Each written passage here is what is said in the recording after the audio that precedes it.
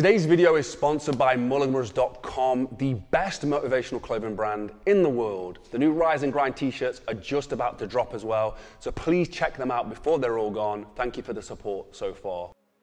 I think you always should visualize your goals. You know, like as a businessman, if you want to own uh, the, the biggest, like if you want to own a whole street of stuff, you know, just you should always visualize. You know, like the, like I, you know, I always said I want to open a gym. You know, as well, and I visualized driving past places and be like, I want to own that as a gym. You know, and when it actually happens, you're like, this is this is cool. So yeah, I think you should always kind of visualize things in your life.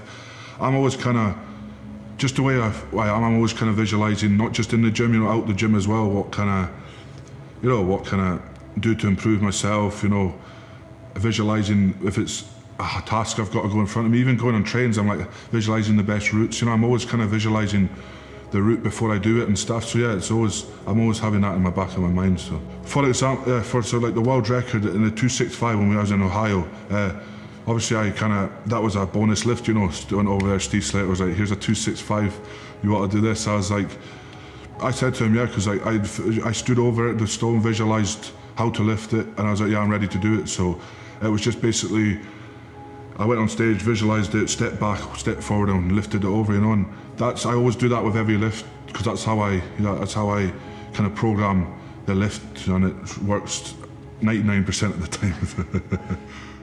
obviously you have the King of Stones title, you know, it comes a lot of pressure, you know, and you have to, like I said, prove it. So, yeah, doing that 265, it wasn't my, I visualised, obviously out there was a, I was wanting a 256, but I was training to visualising for a 280, you know, 285 already. That So I was like, yeah, 265 is all right, you know, just walk off and do it again. But, you know, it's not being cocky, it's being confident and humble, and that's what the difference has been cocky and confident. I was confident I was there for a reason, you know, I visualised even before I stepped on the plane, what I needed to do. Every day I was in my head just going over and over and over, and sometimes panicking, going like, am I visualising this too much? But it was what I did. And then, you know, broke the record, came back here, said to them, let's do the 286, same again. As soon as I, as soon as the uh, stone landed in my gym, I was visualising it every day, like, you know, I know what to do, I know what to do, I know what to do, and it's, it's worked since, so yeah that's kind of the bittersweet thing. You've already had it, but you've not had it, so you're, yeah, but you're more confident you're going to get it because you've, you know exactly their plan to do it. You know, so. Our lives are a product of our imagination. We can create the life that we want if we believe in it, if we visualize it. And if people don't believe that theory, you know, if, if, if they, they struggle with that, which a lot of people do, it's as simple as creating what you want into your subconscious. Like I talked about before, you know, our minds are a goal striving, goal getting machine that will stop at nothing till it gets what your dominant thoughts focus on. That's all you're doing. So for me, you know, when I do that, I'm planting what I want, the goal that I want in my subconscious. You would then subconsciously take decisions and take and, and, and make decisions and take actions that reflect your goal that is in your subconscious. It's the reason I passed Royal Marines training. It's the reason I did Special Forces selection, you know, and did it, you know, I, kept on going till I passed against all odds. You know, I've been doing it all my life, you know, but, you know, anyone that tells me that it doesn't work, they're, as far as I'm concerned, they're losing out. I've got, I've got no advantage telling people this stuff works. I'm just telling you from my experience what happened. You know, but now I just, you know, a lot of this comes down, the more and more I see this on a daily basis, I feel that, you know what, when it comes to humans, we don't even know our true power. It's been so hidden from us by social programming, education, that we don't know our true power. And we have got so much. Every person on this planet has a gift. Everyone has the same skills. Everyone has the ability to create the lifestyle that they want. And those amazing, that amazing gift has been taken away from us because we've been programmed socially, through education, everything. You know, we, we've lost our power. Vision is absolutely essential. there was a time in our business recently where I, I, I keep my vision in my journal. I map my business vision on a whiteboard that sits in my office. I have a vision for my relationship. I have a vision for my life. I have a vision for my bank account. I have a vision for my impact. I have a vision for the work that I'm doing in the human evolution space. And I think with everything that happened with COVID 19 that year, I lost sight of my vision. We, we moved into so many pivots and just really trying to serve our community and make sure we could survive as a business. And there was such a disruption of the day to day norms that we were used to, which ended up being a tremendous blessing. But um, I was sharing with my wife, who runs and is president of our company. Uh, I said, you know, things have felt stagnant recently, ever since January when we did the 2021 Bulletproof Business Challenge. And this was now seven months later. And she said, yeah, things have felt stagnant. They felt uninspired. They felt uh, like low energy. And I went into the garage a couple of nights later and I saw the whiteboard that was normally in my office, which was in the garage because we were back in our second home and we had moved. And I looked at the whiteboard and it was the last time that I had done it. And the last month was the January with the 2021 Bulletproof Business Challenge. And like it shocked me. Like I understand how important vision is. And what's interesting is that, you know, vision vision and imagination are so powerful because the brain doesn't know the difference between imagination and reality. So when you give yourself permission to envision a future, you literally start building memories in your brain of events that haven't happened yet. You, you start to create neural networks of your future. And so, I mean, think about how incredibly powerful that is. I mean, it almost sounds like something out of an Avengers movie.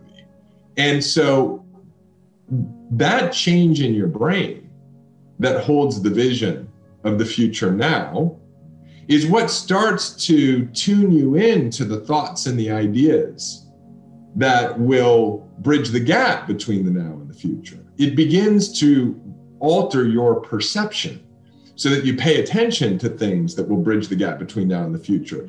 You begin to program your unconscious mind with that future and so you start making decisions that you're not even aware of that become the bridge between now and that future. And then, of course, you know, we live in a vibrational reality. Your brain is this electrical output device. Every time you think, you're creating electrical signals in your brain, that's interacting and transmitting with an energetic reality.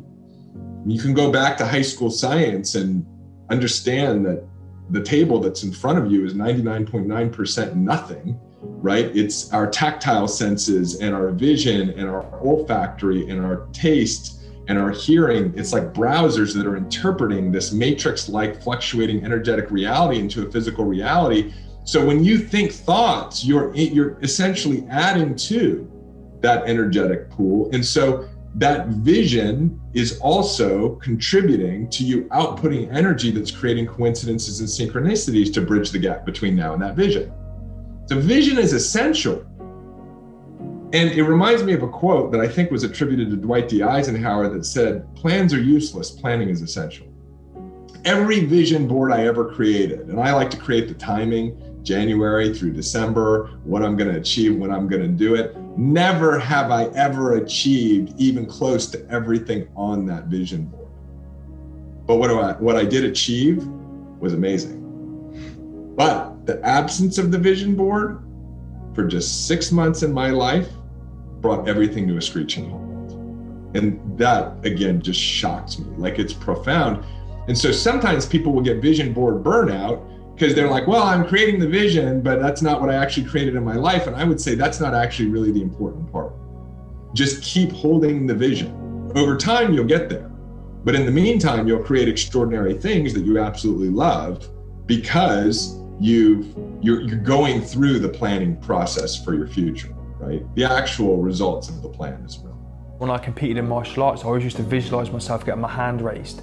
When I was going through Royal Marines training, I always visualized what it would feel like to be presented with that green beret. And then when I, you know, achieved that goal at the Medals Parade, I came home here on a Friday evening and I just thought, this is what I need to do in my life for everything. Not just, you know, set one goal to walk at the Medals Parade, fitness, finance, family, every, every area that's important in my life. I need to set goals in these areas and drive forward towards achieving them because I think it's very dangerous, not just in my situation, but in anyone's situation, if you stay static for too long and the, negative thoughts start coming in. You've always got to have something positive to, to move towards and strive towards to occupy your headspace. You know, 80, 90, 95% of it has got to be positive and driving forward towards something that you want to achieve. If you can't visualize yourself achieving your goals, then you'll never achieve your goals. You know, it, it, everything starts in the mind. Like if, if you have, you have to believe truly in your heart that you will achieve what you want to do, whether that's you know achieving the grades you want to in school, or or uh, getting to a certain level in business, or, or closing a deal that, that brings an X amount of money. If you don't believe it's going to happen, if you can't visualize that process and what it actually feels like as well, which is something that I did quite a lot, is when I'm using imagery in my mind, I'll actually see myself there competing or, or achieving my goal, but also focus on that feeling of how will it feel to achieve my goal. And it, that creates a pretty strong bond. You know, it, it, that, that link between the two is getting an emotional link to achieving your goal is, is hugely important. I think that's what what uh, drives people, you know, and, and if, if people want to achieve their goals, whatever it may be, if it's a sporting goal or whatever, then the first step is, is believing in themselves and in imagining themselves them achieving their goal. A lot of people, the way we're going to, the way we're wired, and this comes down to evolution because we're always looking for the negatives. We all know that once you create an idea in your head, we always look for things that are going to go wrong. We don't sit there and focus about how great it's going to be when we get that. Whether that's starting a new business, relationship, whatever it is, whether it's taking your exams, you always think about the panic of not passing the panic of what could go wrong. And that's what we end up visualizing. visualizing. You know what I mean? And, and it's about just changing that energy to be more positive. So, really, it's the thing is with this, you'll get so many people that disbelieve and will never engage in it. But until they, when they do it once, they only need a little taste. And once they've got a little taste to know that this stuff really does work, that will change their life forever. You know, you guys must know yourself that happens. You know, once you get a taste that this stuff works, it's contagious, like you wouldn't believe. And that, you know, I could tell people, uh, me and my partner, my fiance, Laura, we could tell people stories that they, no one would believe us. No one would believe a word. You know, the, the coincidences, if you want to call them that, they're not coincidences. Once you've got yourself lined up spiritually, once you've created that bandwidth that is way away from fear, because fear doesn't allow for creativity, the opportunities are already there. Everything's already lined up. A lot of people say in life that, oh, well, you know, I can't wait to, for the opportunities to line up. They're already there. It's you that've got to line yourself up. And that's when you come from a place of belief and when you're not li living in a state of fear. And uh, unfortunately, at the moment, it's amplified at the moment, fear is driving society through the news, through everything, through the current COVID pandemic. Fear is driving society because that's the only way you can control a society. We live in a. You look at the news, you look at the newspapers, everything is fear. But once you disengage from that, I mean, I don't read any newspapers. I don't watch the news. I don't watch TV. If I do watch TV, it's very something very specific, you know, a film or whatever. But I'm very conscious about the content that goes into here. And really, you know, once people have a have a taste of visualization, you know, I do I do online courses where I get people to sit down and meditate for me, meditation, again, people think, how can this guy from the Special Forces meditate? That's, that's Glastonbury hippie stuff. Meditation for me is my focused attention at an intention.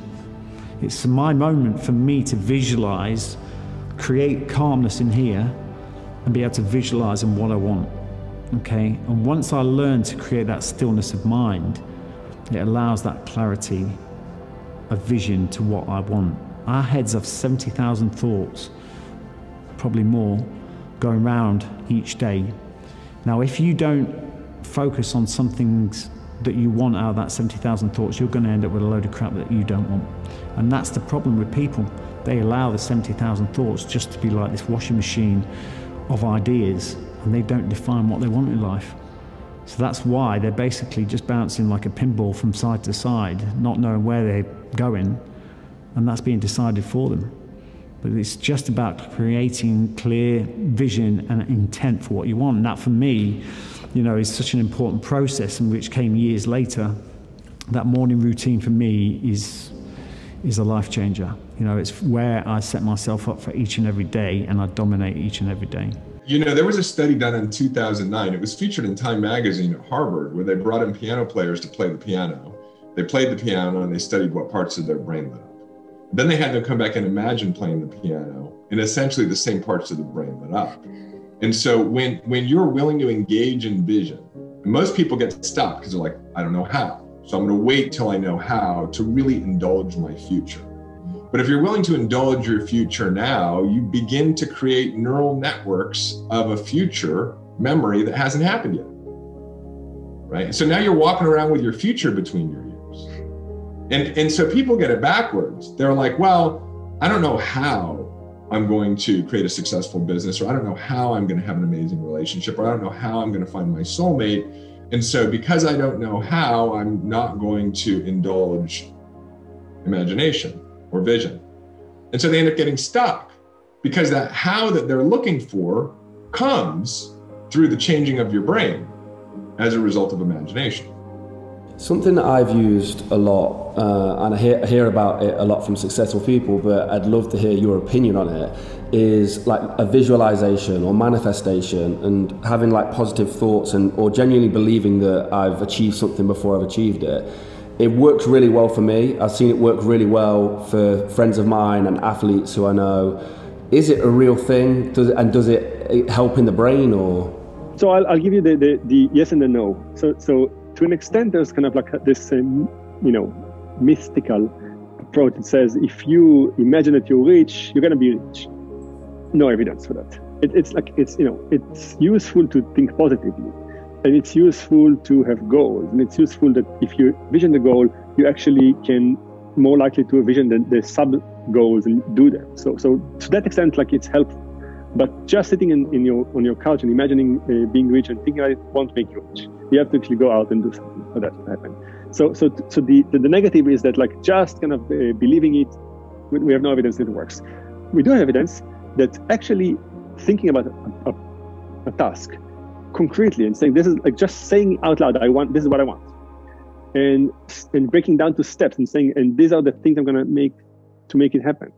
Those things actually help. They break down an untangible kind of goal, which is I want to have a kid. To okay, for that, I need to work on this, this, and I need to talk to my person about that. And you kind of like start. So that sense, like it is. And I would say there's some evidence that in some domains, actually just thinking, just imagining, does make a difference. I'll give you an example that's concrete.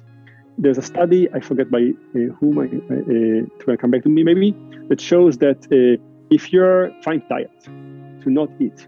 And actually, before you go to the supermarket to buy food, you sit, you close your eyes, and you really imagine eating and opening the box and kind of taking a bite and chewing and so on. Doing this thing actually activates some part of your brain to an extent that it actually makes your body respond as if you've eaten something and, and it lowers the hunger. So when you go to the supermarket, instead of just taking the entire kind of uh, junk food shelf and putting in your box, you will be a little bit uh, fuller a little bit less likely to be tempted. So, so in that sense, there are some kind of concrete things that you can do that actually affect you know, metabolism and, and physiology so that you actually are a little bit hungrier, a little bit, sorry, a little less hungrier, a little bit fuller. So, so, you know, I think you asked me more kind of mystical thing, like me imagining being rich, will it actually change the world? There's no quantum effect by which you imagine something and reality kind of finds itself. But our brain drives our thoughts, drives our actions. In that sense, the more we put in the brain concrete thoughts, they will lead to actions. I was traveling in Thailand not long after graduating from college, um, and I saw a couple guys jumping a flaming jump rope down the beach. And I'm 22 years old at the time, maybe not a fully formed prefrontal cortex, or didn't uh, didn't uh, have the realizing how risky that was. But I did that, and in an instant, my life changed. So the rope it wrapped around my legs and lit my body completely on fire, you know, to my neck uh, survival mode kicked in when I needed it most, and I jumped into the ocean, which extinguished the flames, but not before about 25% of my body was severely burned, predominantly my legs and my feet. And you know, I was in a, I was taken in a, a moped, not an ambulance, but a little moped down a dirt path to like this one-room shack. I was on this island in the middle of nowhere in town. There was not proper medical facilities, but they couldn't move me, and so they I went under, and underwent eight surgeries on these small island hospitals. Um, there was a cat running around my bed and across my chest in the ICU. I mean, just basically a nightmare scenario. But the physical pain was one thing, but the emotional pain, I'll never forget this moment. This doctor walks in and he looks me straight in the eyes and through his broken Thai English, he basically looks at me and goes, Colin, you'll never walk again normally. Just boom. Um, and so the emotional sort of downward spiral was immense. I've been an athlete, an active kid, and just all of a sudden, you know, from a stupid mistake, you know, my life as I knew it was taken away from me. But we were speaking about my mother before, and she's really the hero of this story, which is she flew over to Thailand, took her four or five days to find me and track me down. And I said, Look, they say I'm never going to walk again normally. And she goes, You know, forget about that for a second close your eyes and she says visualize you living your best life. Visualize yourself on the other side of this adversity. Like what are you doing? You know let's really visualize this. And this is still this, the same mother that told me you can do anything you set your mind to as i was a little kid. And I closed my eyes um, and I said, I start kind of smiling. She's like, What is it? And I say, I see myself crossing the finish line of a triathlon which is not something I was a swimmer, but I've never, you know, raced a triathlon before, but that's kind of what came to me in this moment.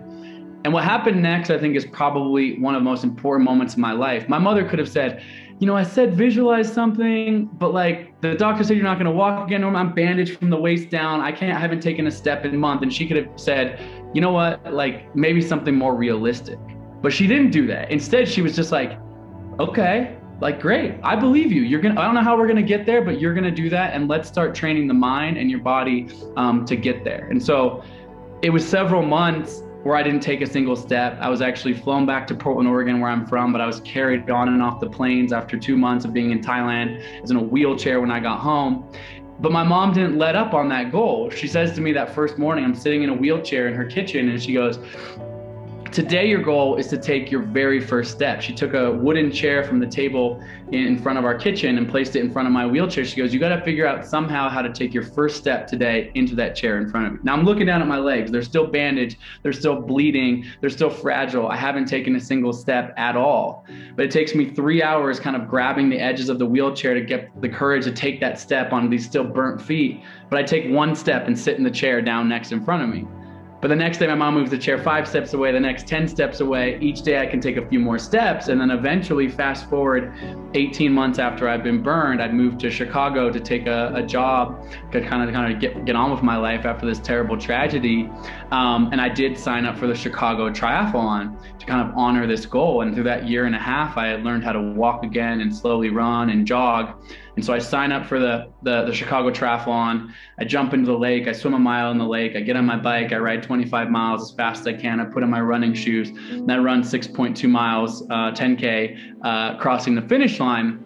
And to my, I was so excited that I had, you know, gone from this wheelchair, being told I would never walk again, to finishing this race. But what was completely surprising to me is I hadn't just finished the race, but I actually won the entire Chicago Triathlon, uh, placing first out of nearly 5,000 other participants uh, on the day. I forgive it's, it's somewhat of a long answer, but in conclusion, my mind didn't go in that moment like, oh, I must be an amazing athlete. My first triathlon, I win, beat 5,000 other people. That's not, my mind didn't go there at all. My mind went back to that Thai hospital room and wondered, what would have happened had my mom not forced me to look towards the future and set this measurable goal? And in that moment, I realized that all of us, not just me, you, every single person on this planet, we have reservoirs of untapped potential inside of us to achieve extraordinary things, particularly when we can shift our mindsets towards the positive in these dark moments. Life is hard. I don't, you know, hopefully you don't get burned in a fire, but you will face adversity. You will face setbacks. I don't care how rich or poor or young or old, whatever you are, like that's part of life. But what I realize is we have an opportunity to decide how we react in those moments.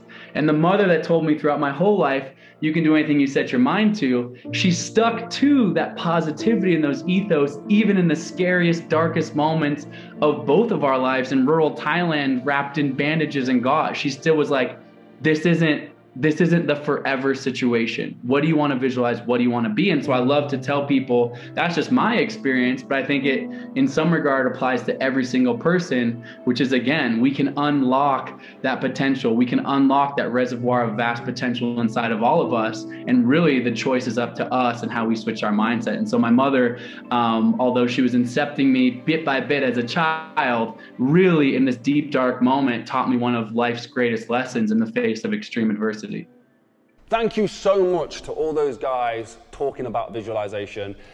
So many of my successful friends and people that I speak to in the industry and people who I speak to, who, billionaires and millionaires and uh, world champions across the world, all of them, bar none, I swear to you, all of them had one thing in common, and it was that they used visualization. Whether they were aware of it or not, they all used visualization. And it's funny the majority of them know that they are using visualization, that it's a skill that they've heard about, it's a skill that they are using to become successful. Visualization is one of the most overlooked tools. We all understand how important it is. We all understand all these people talk about it frequently, but then we overlook it ourselves. Guys, I will sit in bed and imagine the metal from an Oscar, how cold it is, and the weight of that award, and holding it up on stage and talking, and, and the smells and the visualization and the walking up the steps, all those things. I have done that for my whole life, and it really does work. This building that we're in right now, before we owned this building, before we even had a penny to be able to purchase this building and be able to do this studio and run this business, I visualized. I visualized the basketball court that we built. I visualized um, this, this studio space. I visualized it to the point of when we achieved it, it wasn't a shock. It felt like we just arrived where we were supposed to be. And it's a funny feeling when you achieve something you visualize so much because you kind of already had it because your visualization was so strong. I can't express enough how important visualization is. I hope these guys explained it to you enough um, Luke Stoltman, Tom Stoltman, they all used visualization of holding that gold trophy, of, of being Europe's strongest man, of being two times world's strongest man. So use these successful people as a lesson and an example of the need to use visualization. Start using it day to day basis, whatever it is, getting a dream body, getting a, a new car, start using visualization. Sorry, guys, I'm just passionate about visualization. It is very, very important. Guys, today's video was sponsored by mulliganbrothers.com, the best motivational clothing brand in the world, and the new Rise and Grind t-shirts have just dropped on the website. Get them before they are gone. There's a limited quantity. They are fitted for the gym, so they hug your biceps. Um, they've got the new Mulligan tags on there. They fit across the chest, and also the training hoodies are now out as well. Um, all linked down below. Like I say, get them before they're gone, guys. But thank you so much for the support on mulliganbrothers.com. We're all in this together. We're all just trying to achieve stuff passionately and with purpose. And for me, that is all about the Inspired Change movement. So keep moving forward with passion and purpose. Have a blessed and productive day. I am your host, Jordan Mulligan, and I will see you in the next one. Peace.